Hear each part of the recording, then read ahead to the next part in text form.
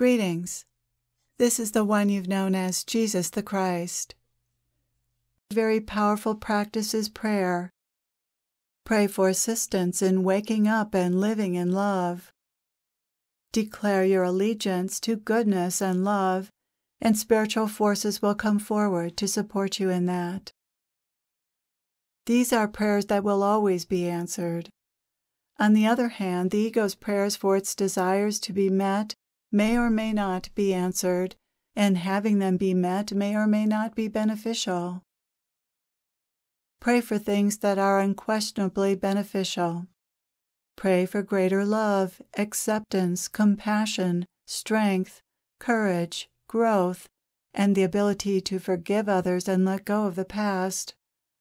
Pray to be of greater service to others and for help in fulfilling your life purpose. Pray for these things, and your prayers will always be answered.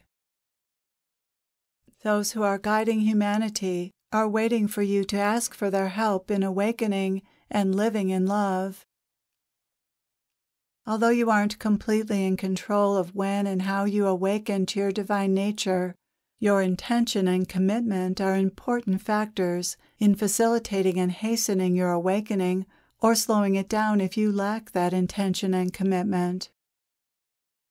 Spiritual forces honor whatever you intend and offer extra assistance only when you show them you're ready to receive it. One of the ways to demonstrate your readiness is to ask them for their help. The specific words you use are not important.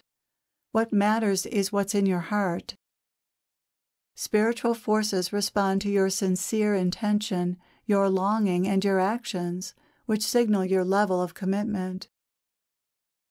Praying will help you develop a relationship with God and strengthen your belief in guiding forces.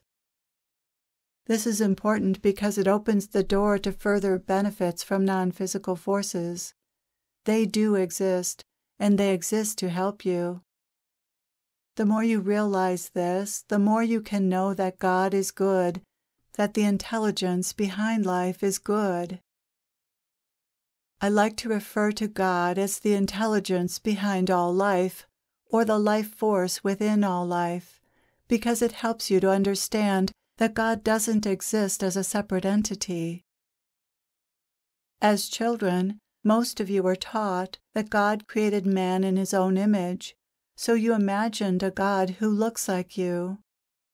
However, what is meant by this is that human beings have God's divine qualities and are inherently good and of love. God is not at all like a human being. By the way, you are not actually human either. You are God playing at being a human being. Human beings are only one form that God takes on. God is an unimaginable force and intelligence, which is perhaps why human beings have needed to see God as something they can relate to, and that's fine. It's fine to talk to God as if God were a good parent, but please understand that this is not actually the case. The trouble with imagining that God is similar to a human being is that God may also be assumed to have the negative propensities of human beings, and nothing could be farther from the truth. For instance, God would never punish what God has created. That would be God punishing himself herself. And what good could come of that? Punishment is a crude and cruel means of teaching, which imprisons, not elevates. The suffering you experience in life is not punishment for any so called sins, but something you generate within yourselves by incorrect thinking, by egoic thinking. God is so good and loving that God has given you, Himself, Herself, a way out of suffering, and that is to see the truth about life. The truth is that the programming you've been given is faulty and it is the source of your suffering, not anything about life itself. Life is beautiful, wonderful, and although challenging, a precious gift, which your soul has chosen to experience for any number of reasons.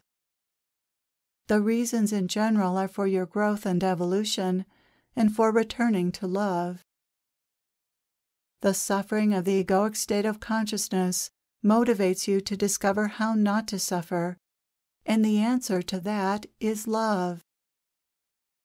So please love God and develop a relationship with God and with the helping forces God has put in place for you. They are individuated enough for you to relate to and speak to.